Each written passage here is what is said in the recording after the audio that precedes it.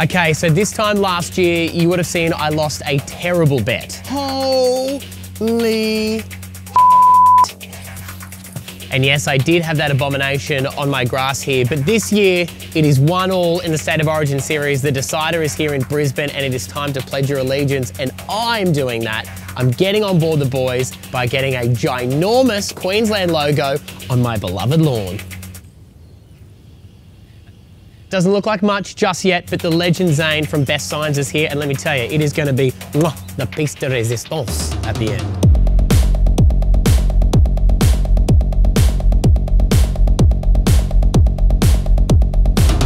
Not as straight.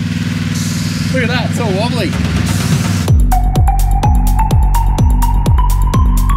The other reason we had to get this logo down this year is if you look at the top of my house when you go to Google satellite images, they just so happened to take the photo two days after the New South Wales logo went down. And it also killed my soul when the New South Wales team shared the photo and thought that I actually wanted it. But this year, game three, we're on, baby. And if Billy Slater, mate, you're probably watching this, if you want to bring the boys around, I feel like this could be a great spot to come and do a quick training session to get the guys ready to roll.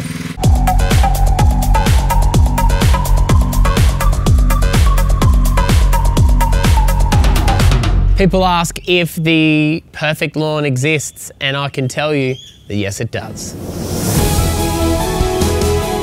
This might become the new thing actually, because I kind of get real lazy over winter and don't look after my lawn. So if I just paint things over the top of it every year, this actually works quite well for me.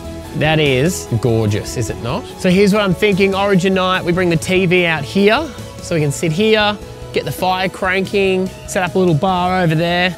Perfect. There we have it, the completed Queensland Maroons shield in the backyard. I think this has probably put the value of the house up by at least 100, 150,000. This gives me a good feeling for game three.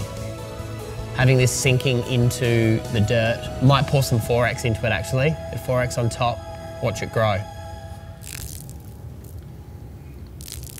I want to officially christen it, but I don't want to waste too much. Stav Abby and Matt on B105.